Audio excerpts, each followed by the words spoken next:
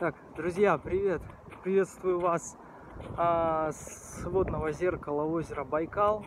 Вот а, я сейчас иду прямо по самому краю а, вдоль линии берега, потому что сегодня у нас уже 1, нет, 2 апреля, и весна вступает все больше и больше в свои права, и видно, что озеро Байкал уже немножко начинает таять, уже немножко начинает переходить в другой режим и просыпаться после зимней спячки.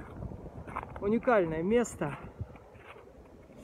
уникальная потрясающая красота, а, вид обалденный на горы Саяны на другой стороне озера. И сейчас я иду в сторону Листвянки, туристического поселка, который а, по праву считается курортом а, побережья, Иркутского побережья Байкала. Вот.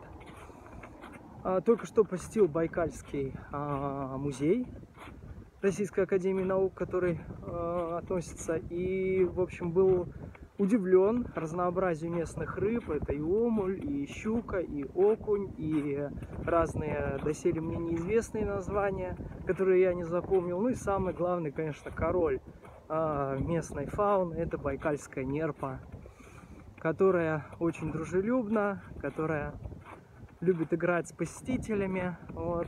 Ну, в общем, очень-очень порадовала. До новых встреч!